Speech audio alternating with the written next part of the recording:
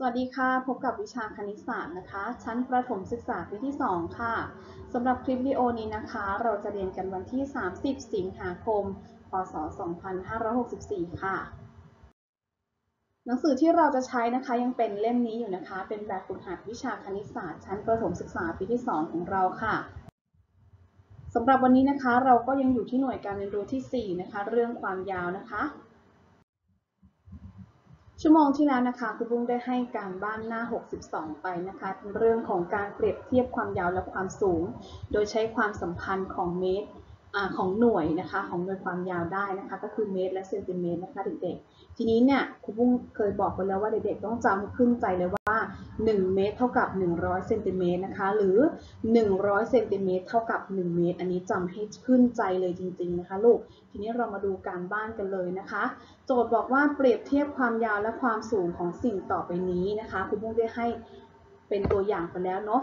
นะคะอะทีนี้ดูข้อ1นะคะซองจดหมายยาว 18เซนติเมตรดินสอยาว 12เซนติเมตรนะคะ อันนี้เราจะสังเกตว่าหน่วยเป็นเซนติเมตรเหมือนกัน เพราะฉะนั้นง่ายมากเลยนะคะ ต่อการเปรียบเทียบนะคะเด็กๆ ข้อ1นะคะอะซองจดหมายเนี่ยยาวกว่าอยู่แล้วใช่ไหมเพราะว่ายาว 18เซนติเมตรเพราะฉะนั้นเราดูได้เลยนะคะ ดูที่ประโยคแรกเลย แล้วก็ตอบได้เลยว่า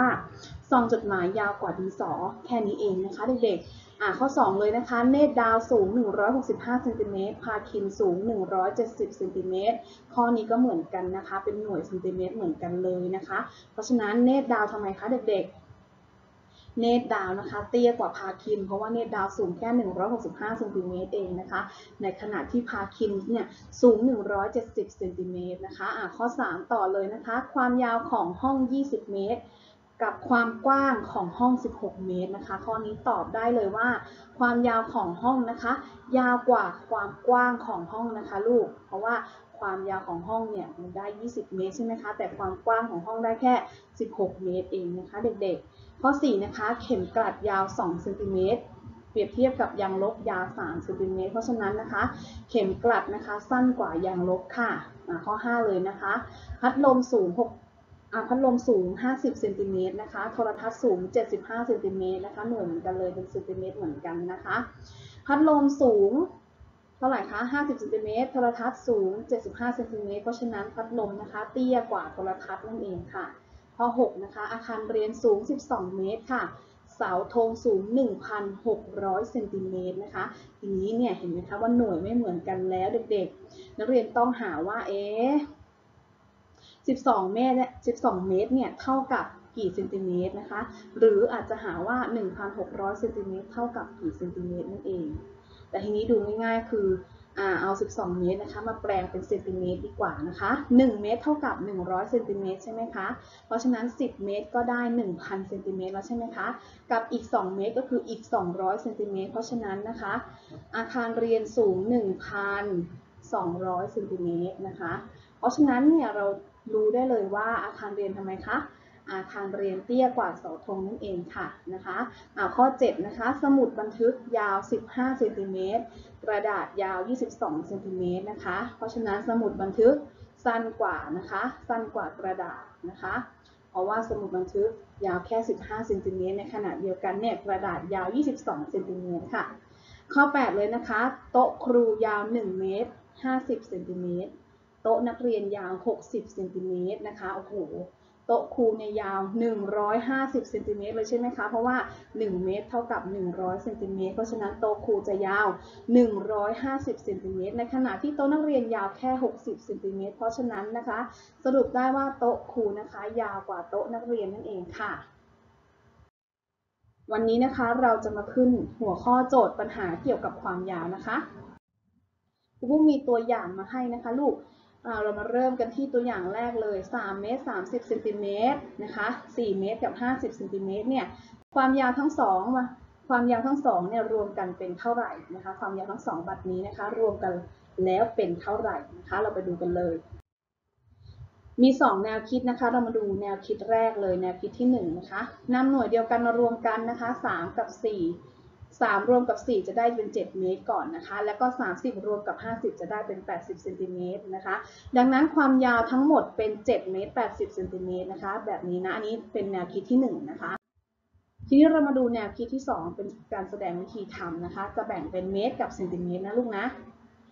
ก็คือ 3 เมตร 30เซนติเมตรบวกด้วย 4 เมตร กับอีก 50เซนติเมตรนะคะ เมื่อบวกกันแล้วเราเริ่มจากการบวกที่เซนติเมตรก่อน0บวก0ได้0นะคะ3บวก5ได้ 8 เพราะฉะนั้นได้ตรงนี้ได้ 80เซนติเมตรนะคะเมตรบวกกัน3บวก4ได้ 7 นะคะ ตอบ 7 เมตร 80เซนติเมตรแบบนี้ค่ะ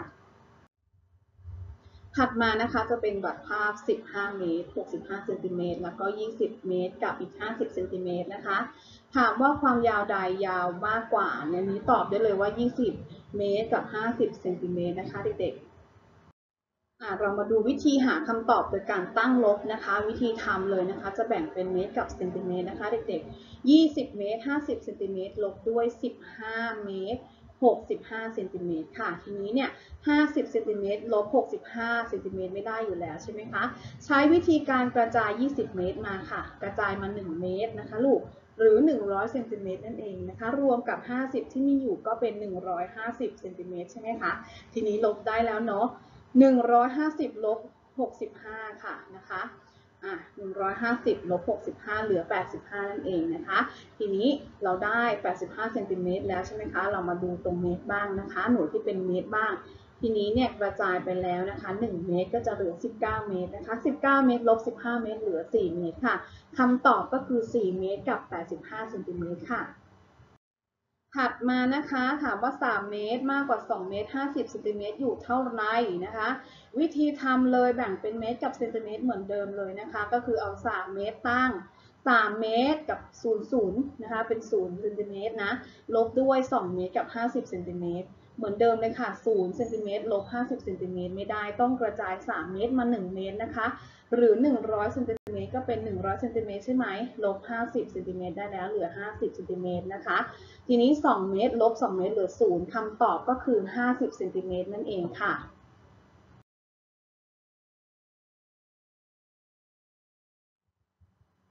ทีนี้นะคะเรามาเริ่มดูที่โจทย์ปัญหาเกี่ยวกับความยาวบ้างนะคะคุณบุ้งจะขอยกตัวอย่างนะคะ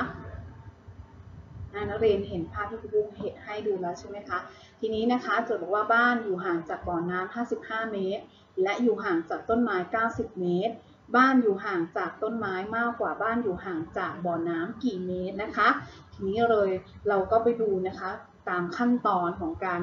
แก้ไขโจทย์ปัญหาเลยนะคะ มาดูขั้นที่ 1 ขั้นทำความเข้าใจโจทย์กันเลยนะคะ จทย์กำหนดอะไรบ้างคะ โจทย์กำหนดว่าบ้านอยู่ห่างจากบ่อน้ำ55 เมตรนะคะ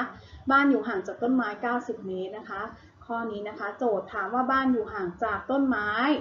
มากกว่าบ้านอยู่ห่างจากบ่อน้ำกี่เมตรนะคะ ทีนี้ไปดูขั้นตอนที่ 2 เลยค่ะ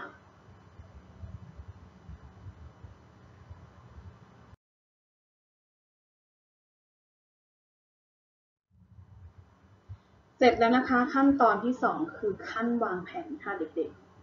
ๆทีนี้เราจะวางแผนอย่างไรนะคะ บ้านนะคะอยู่ห่างจากต้นไม้มากกว่าบ้านอยู่ห่างจากบ่อน้ำเท่าไหร่นี่คือสิ่งที่เราต้องการหาใช่ไหมคะ เราจะใช้การลบในการหาคำตอบนะคะ ประโยคสัญลักษณ์ที่ได้ก็คือ 90 ลบ 55 เท่ากับช่องสี่เหลี่ยมค่ะ มาดูขั้นที่ 3 นะคะ ขั้นลงมือทำเมื่อเราได้ประโยคสัญลักษณ์แล้วนะคะ อันนี้เมตรเป็นหน่วยที่เท่ากันก็คือเมตรนะคะลูก เพราะฉะนั้นเราสามารถแสดงวิธีทำได้เลยนะคะ ก็เริ่มจากบ้านอยู่ห่างจากต้นไม้นะคะ 90 เมตร บ้านอยู่ห่างจากบ่อน้ำ55 เมตรนะคะ เราใช้วิธีการลบเนาะ อะ บ้านอยู่ห่างจากต้นไม้มากกว่าบ้านอยู่ห่างจากบ่อน้ำนะคะ เมื่อลบกันแล้วเนี่ยเราได้ 35 เมตรใช่ไหมคะ เราก็ตอบได้เลยค่ะบ้านอยู่ห่างจากต้นไม้มากกว่าบ้านอยู่ห่างจากบ่อน้ำ35 เมตรอย่าลืมตอบเป็นเลขไทยด้วยนะคะลูก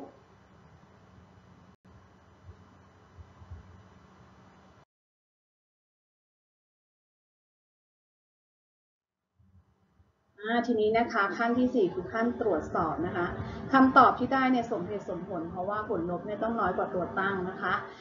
ตรวจคำตอบโดยใช้ความสัมพันธ์ของการบวกและการลบค่ะ 90 ลบ 55 เท่ากับ 35 นะคะ เราก็ตรวจสอบแบบนี้เลย 35 ตั้งนะคะ บวกด้วย 55 คือตัวลบ ได้เท่ากับ 90 นะคะ ได้เท่ากับตัวตั้ง เพราะฉะนั้น 35 เป็นคำตอบที่ถูกต้องค่ะ เรามาดูตัวอย่างตัวอย่างนะคะซีนีนะคะมีเชือกสีเขียวยาว 3 เมตร 20 เซนติเมตรนะคะ มีเชือกสีแดงยาว 8 8 เมตร 50 เซนติเมตรค่ะ ซีนีมีเชือกสีเขียวสั้นกว่าสีแดงกี่เมตร กี่เซนติเมตร ขั้นตอนของการแก้โจทย์ปัญหานะคะ เราก็เรามาเริ่มวิเคราะห์กันเลยนะคะ อย่างแรกเลยก็คือขั้นทำความเข้าใจโจทย์นะคะ สิ่งที่โจทย์กำหนดให้ก็คือซีนีมีเชือกยาวนะคะ3เมตร20เซนติเมตรและมีเชือกสีแดงยาว8เมตร50เซนติเมตรนะคะ สิ่งที่โจทย์ถามก็คือซีนีมีเชือกสีเขียวสั้นกว่าสีแดงกี่เมตร กี่เซนติเมตรนั่นเองค่ะ ขั้นที่ 2 คือขั้นวางแผนนะคะ เราวางแผนว่าเชือกสีแดงนะคะ ยาว 8 เมตร 50เซนติเมตร เชือกสีเขียวยาว 3 เมตร 20เซนติเมตรนะคะ ส่วนที่เราจะต้องหาคือส่วนนี้นะคะเด็กวิธีการแก้ปัญหาก็คือแสดงวิธีทำนั่นเองนะคะะเราจะแบ่งเป็นเมตรกับเซนติเมตรนะคะลูก แบบนี้ก็ได้นะคะ เราจะแสดงวิธีทำแบบนี้ก็ได้โดยใช้หน่วยไว้ข้างบนนะคะ ก็คือเมตรกับเซนติเมตร เริ่มจากซีนีมีเชือกสีแดงยาว 8 เมตร 50 เซนติเมตรนะคะ ลบด้วย มีเชือกสีเขียวยาว 3 เมตร 20 เซนติเมตรค่ะซีนีมีเชือกสีเขียวสั้นกว่าเชือกสีแดงนะคะเอาลบกันแล้วได้เป็นเท่าไหร่คะ 5 เมตรนะคะกับ 30 เซนติเมตร เพราะฉะนั้นตอบว่าซีนีมีเชือกสีเขียวสั้นกว่าเชือกสีแดง 5 เมตร 30 เซนติเมตรนะคะ ตอบเป็นเลขไทยนะคะเด็กๆ ขั้นที่ 4 คือการตรวจสอบความสมเหตุสมผลของคำตอบนะคะ เนื่องจาก 8 เมตร 50 เซนติเมตรเนี่ยเท่ากับ 8 เมตรครึ่งเนาะ และ3เมตร20เซนติเมตรนะคะมากกว่า 3 เมตร จะได้ว่าผลลบที่ได้นะคะ ควรมากกว่า 5 เมตร ดังนั้นเนี่ย5เมตร30เซนติเมตรจึงเป็นคำตอบที่สมเหตุสมผลค่ะอ่านะคะทีนี้ครูบุ้งขอฝากแบบฝึกหัดหน้า 63 เอาไว้ด้วยนะคะ ให้เด็กๆทำพร้อมกันเลยนะคะ ก็คือเขียนประโยคสัญลักษณ์และหาคำตอบนะคะ ข้อ 1 เลยนะคะ แก้วทำดอกไม้โดยใช้ริบบิ้น นะคะ ดอกแรกแก้วใช้ริบบิ้นยาว 95เซนติเมตร ดอกที่ 2 แก้วใช้ริบบิ้นยาว 68เซนติเมตรนะคะ แก้วใช้ริบบิ้นทำดอกไม้ทั้งหมดนะคะ ยาวกี่เซนติเมตร ข้อนี้นะคะเด็กๆ ถ้าเราทำความเข้าใจโจทย์ก็คือ สิ่งที่เขากำหนดให้ก็คือนะคะ ดอกแรกเนี่ยแก้วใช้ริบบิ้นยาว 95เซนติเมตรนะดอกที่ 2 แก้วใช้ริบบิ้นยาว 68เซนติเมตรถามว่าแก้วใช้ริบบิ้นทำดอกไม้ ยาวนะคะ ทั้งหมดเลยเนี่ยยาวกี่เซนติเมตรใช่ไหมคะเราจะใช้วิธีการบวกนะคะเพราะฉะนั้นประโยคสัญลักษณ์ที่ได้ก็คือ 95 บวก 68 นะคะ ได้คำตอบก็คือเท่ากับ 163 เพราะฉะนั้นเวลาตอบนักเรียนตอบแบบนี้เลยค่ะ แก้วใช้ริบบิ้นทำดอกไม้ทั้งหมด ยาว 163 เซนติเมตรค่ะ เด็กๆทำไปพร้อมครูบุ้งเลยนะคะ อะข้อ 2 นะคะ ระยะทางจากบ้านก้อยถึงโรงเรียนนะคะ เท่ากับ 85 เมตรนะคะ แต่ละวันเนี่ยก้อยเดินทางไปและกลับด้วยนะคะ เป็นระยะทางทั้งหมดเท่าไหร่อะทีนี้ทำความเข้าใจทำความเข้าใจโจทย์ก่อนนะคะ ก็คือเขากำหนดมาให้ว่าระยะทางจากบ้านก้อยถึงโรงเรียนเนี่ยเท่ากับ 85 เมตร ซึ่งในแต่ละวันเนี่ยก้อยต้องเดินทางไปนะคะ ไปก็เท่ากับ 85 เมตรแล้วก็กลับอีกนะคะ กลับก็ระยะทางเท่าเดิมก็คือ 85 เมตร ถามว่าเป็นระยะทางทั้งหมดเท่าไหร่ทั้งไปและกลับ ข้อนี้นะคะเราจะใช้วิธีการบวกค่ะลูก บวกยังไงคะ ก็คือ 85 เมตร บวก 85 เมตร ได้คำตอบก็คือ 170 นะคะ เพราะฉะนั้นเวลาที่นักเรียนตอบนะคะ ตอบแบบนี้เลย แก้วเดินทางนะคะ ขออภัยนะก้อยนะคะ ก้อยเดินทางไปและกลับ กลับนะคะ เป็นระยะทางทั้งหมด 170 เมตรค่ะ สำหรับงานแบบฝึกหัดนะคะ ขอฝากไว้แค่ข้อหนึ่งใหญ่ก่อนนะคะ แล้วเดี๋ยวเรามาต่อกันชั่วโมงหน้านะคะ วันนี้ลาไปก่อนนะคะ ขอบคุณนักเรียนที่ตั้งใจเรียนตั้งใจฟังค่ะ สวัสดีค่ะ